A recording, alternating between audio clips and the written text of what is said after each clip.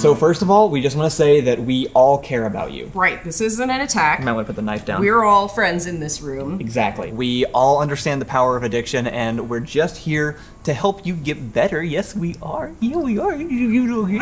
Okay, that's a bit hostile. We all love you, but if you can't be civil, we're gonna turn you into a hat. So. Uh, I prepared a statement I'd like to read.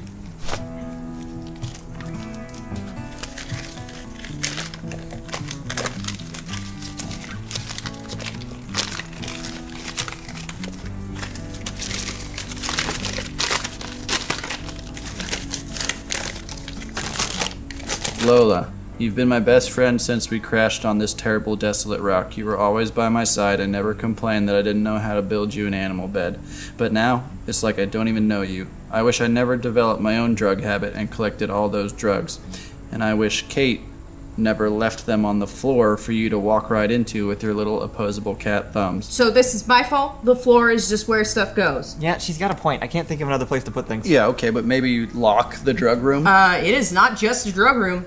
It is also a materials room and a food room and a corpse room sometimes. We should really think about building another room. All right, guys, we are not here to assign blame. We are here to move forward. And I think the next logical step is to sell the rest of the drugs. Whoa, Oh. slow down. All right, we just built a party room. You mean the big empty room with a chess table and one chair? Uh, the chair is gold. I'm sorry, but it, harvest season is coming up soon, and, and I'm gonna I'm gonna need a little something. okay, we may just have to learn to survive without drugs. No.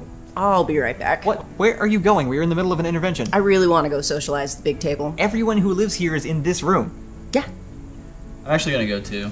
Why? Well, because the ruins out by the river need sweeping. No, you don't have to clean the ruins. They're not actually a part of the base, okay? I just claimed them by accident. Yeah, but it's dirty. No, alright, everybody sit back down. Get over here. This is about Lola. We are here because we care about Lola. And if we don't do something soon, something bad might happen. Now, Lola, Luciferium is a big deal. What? Luciferium? Why what? did you think this would I'm making work? a hat. Give me that knife. If you haven't picked up a Cheeseland poster yet, why not?